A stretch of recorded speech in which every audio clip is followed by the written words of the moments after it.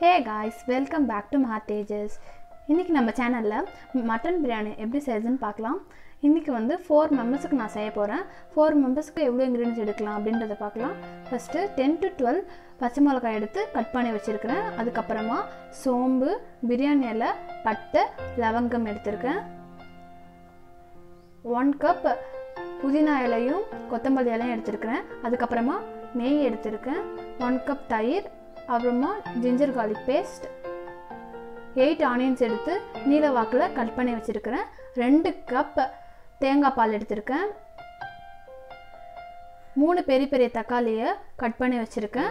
அதுக்கப்புறமா one tablespoon turmeric powder two tablespoon chilli powder எடுத்திருக்கேன் four cup basmati ரைஸை நல்லா ஒன் ஹவர் தண்ணியில் ஊற வச்சு தண்ணி இல்லாமல் எடுத்து வச்சுருக்கேன்.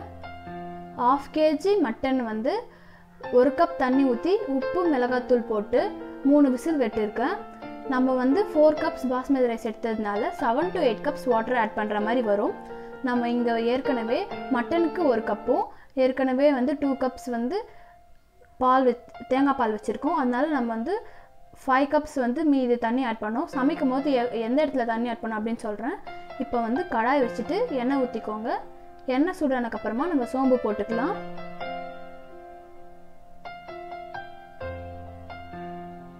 எண்ணெய் சூடாயிடுச்சு. இப்போ நம்ம வந்து சோம்பு போட்டுக்கலாம். சோம்பு நல்லா பொரிஞ்சு வரணும்.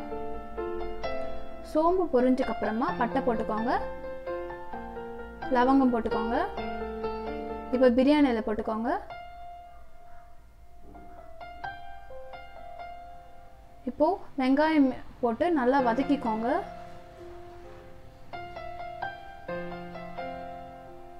பிரியாணியில் வந்து மெஷர்மெண்ட் ரொம்ப இம்பார்ட்டண்ட் நான் சொல்கிற மெஷர்மெண்ட் படி செஞ்சிங்கன்னா ரொம்ப டேஸ்ட்டாக வரும். இப்போ வெங்காயம் நல்லா வதக்கட்டும்.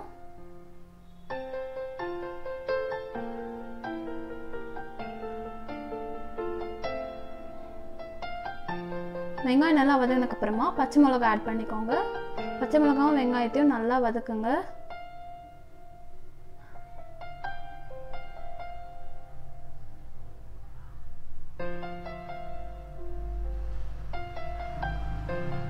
பச்சை மிளகா வெங்காயமும் பாதி வதங்கினதுக்கப்புறமா வெங்காயத்துக்கு தேவையான உப்பு போட்டு நல்லா வதக்கிக்கோங்க.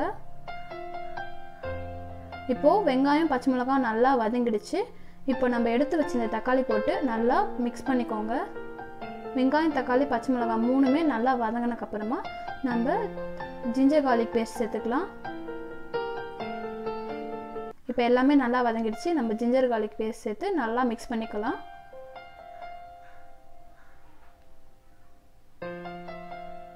நல்லா மிக்ஸ் பண்ணிக்கோங்க.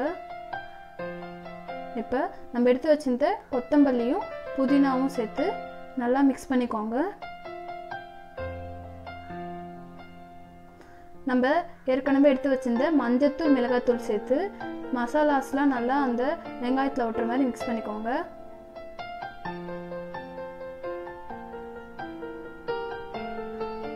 நம்ம ஏற்கனவே வேக வச்சு வச்சுருந்த மட்டன் வந்து தண்ணி எடுத்துட்டு சேர்த்துக்கோங்க.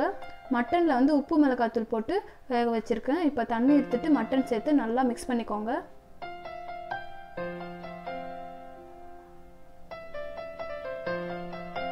மட்டன் நல்லா மிக்ஸ் பண்ணக்கப்புறமா உங்கள் டேஸ்ட்டுக்கு ஏற்ற மாதிரி உப்பு சேர்த்துக்கோங்க. உப்பு சேர்த்துட்டு நல்லா மிக்ஸ் பண்ணிக்கோங்க. இப்போ நல்லா மிக்ஸ் ஆனதுக்கப்புறமா நம்ம தயிர் சேர்த்துக்கலாம். நல்லா மிக்ஸ் ஆகிடுச்சு இப்போ நம்ம சாதம் சேர்த்து நல்லா மிக்ஸ் பண்ணிக்கலாம்.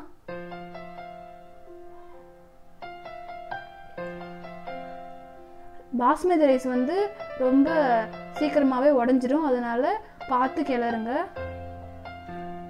நல்லா சாதத்தில் வந்து மசாலாஸ்லாம் ஒட்டுற மாதிரி மிக்ஸ் பண்ணிக்கோங்க. இப்போ நம்ம தயிர் சேர்த்துக்கலாம். இப்போ த்ரீ டேபிள் ஸ்பூன் நெய் சேர்த்துக்கோங்க. உங்களுக்கு நெய் பிடிக்கும்னா இன்னும் அதிகமாக கூட சேர்த்துக்கோங்க. இப்போ நல்லா மிக்ஸ் பண்ணிக்கோங்க. இப்போ நம்ம வந்து தேங்காய் பால் ஆட் பண்ணிக்கலாம். தேங்காய் பால் ஆட் பண்ணுறதுக்கு முன்னாடி லோ ஃப்ளேமில் வச்சுக்கோங்க. இப்போ நம்ம தேங்காய் பால் ஆட் பண்ணிக்கலாம். இதுக்கு வந்து மெஷர்மெண்ட் ரொம்ப முக்கியம். நம்ம ஃபோர் கப்ஸ் வந்து பாஸ்மதி ரைஸ் எடுத்திருக்கோம். அதனால செவன் டு எயிட் கப்ஸ் வந்து நம்ம வாட்டர் ஆட் பண்ணோம். டூ கப்ஸ் வந்து தேங்காய் பாலில் போயிடுது. அதுக்கப்புறமா மட்டன் வேக வச்ச வாட்டர் வந்து ஒன் கப் இப்போ த்ரீ கப்ஸ் ஆயிருக்கு. நம்ம குக்கரில் சாப்பாடு சேர்க்கும் போது எக்ஸ்ட்ரா ஃபைவ் கப்ஸ் வந்து வாட்டர் சேர்த்துக்கணும். இப்போ நல்லா மிக்ஸ் பண்ணிக்கோங்க.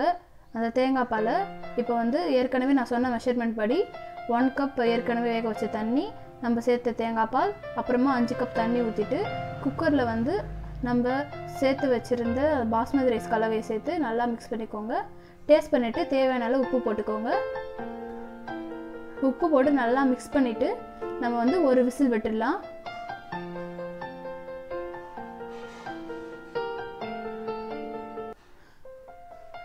இப்போ வந்து ஒரு விசில் விட்டாச்சு. சூப்பராக நம்மளுடைய மட்டன் பிரியாணி ரெடி ஆகிடுச்சு ரொம்ப டேஸ்ட்டாக இருக்கும். இந்த மாதிரி மெத்தடில் செஞ்சு பாருங்கள் நான் சொன்ன வாட்டர் மெஷர்மெண்ட் வந்து ரொம்ப முக்கியம். ரொம்ப சீக்கிரமாக ரெடி ஆகிடுச்சு நீங்களும் உங்கள் வீட்டில் செஞ்சு பாருங்கள் எப்படி இருந்தது அப்படின்னு கமெண்டில் சொல்லுங்கள் இந்த வீடியோ உங்களுக்கு பிடிச்சிருந்தா எங்கள் சேனலை சப்ஸ்கிரைப் பண்ணுங்கள் மறக்காமல் லைக் பண்ணுங்கள் ஷேர் பண்ணுங்கள் கண்டிப்பாக இது உங்கள் வீட்டில் செஞ்சு பார்த்துட்டு எப்படி வந்ததுன்னு கமெண்டில் சொல்லுங்கள் தேங்க்ஸ் ஃபார் வாட்சிங்